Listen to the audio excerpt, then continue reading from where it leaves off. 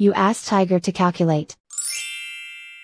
This deals with finding the midpoint between two points. The midpoint between the two points is 19.5, negative 10.5. Let's solve it step by step. Plot the two points and calculate the midpoint using the formula.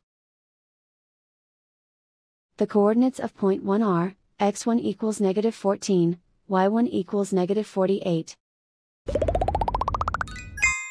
The coordinates of point 2 are, x2 equals 53, y2 equals 27.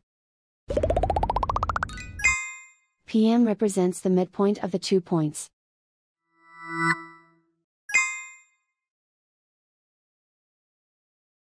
Use the x values in the midpoint formula to find the midpoints x.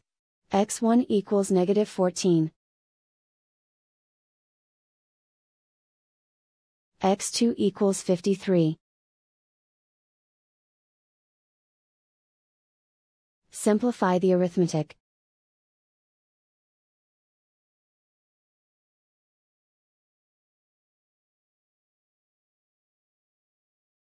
Use the y values in the midpoint formula to find the midpoints y.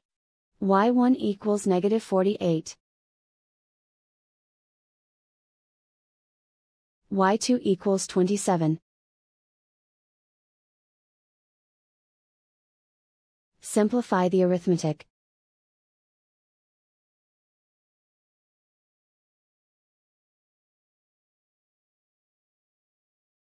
And so, the midpoint is 19.5, negative 10.5.